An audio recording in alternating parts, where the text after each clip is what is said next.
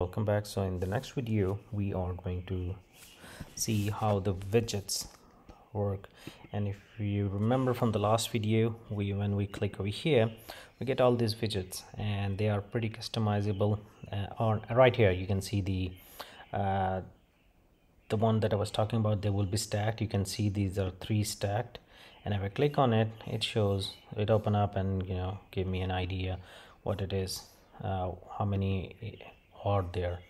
And if I click on it then like one of these then it will open up the default mail and I will go, be able to go and uh, check all of them.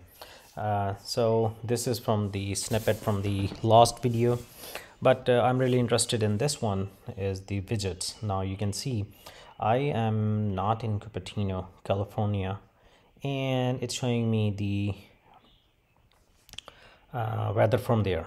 I need to change it if I click over here you can see it's it's taken to Santa Clara California weather page. I don't I'm not interested in that. I'm not there.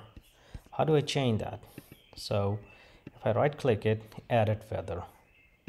If I click over there now it changed and it's trying you know I can set up the location. If I change it I'm gonna enter 43016 and that's the location let's see if it gets okay now I have my weather. Now it's more um, personalized. Now I can look. So now uh, if I were to go and add uh, okay now it's taking me to Dublin Ohio. Let's close it. So now if, if I were to add another city I probably will have to go and edit widgets and add more but let's uh, not do it right now and uh, focus what what we have over here. If I right click over here I have three options. Medium so it's gone big or large. And it's giving me a little bit more information and I kind of like it. I want to see a few days ahead rather than just clicking and then going to weather.com can I move them around and I guess I can. Same thing. If you want if you don't like this widget you can always remove it. Let's add the uh, its time zone. That's not my time zone. All right so let's see what we have options for this times. So added clock and I have this so basically some people like especially business uh, they have offices in different locations. They want to add this so they know what time it is in a remote uh, location that to better coordinate with their team.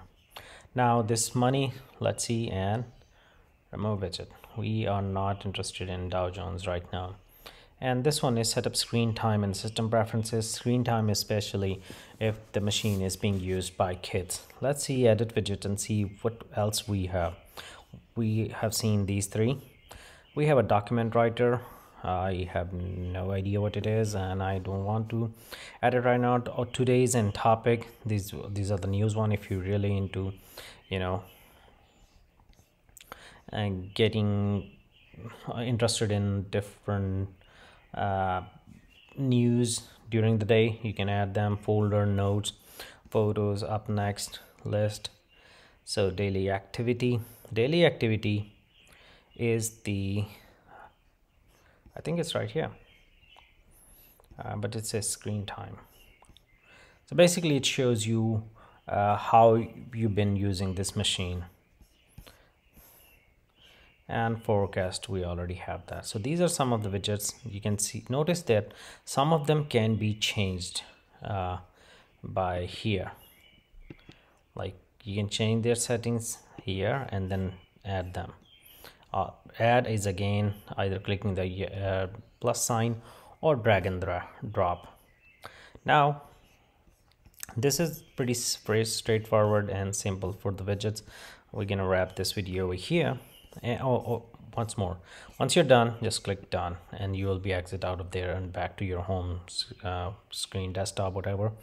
And uh, this is it. I'm gonna wrap this video here. I hope this video has helped you. If it has please rate comment subscribe and share.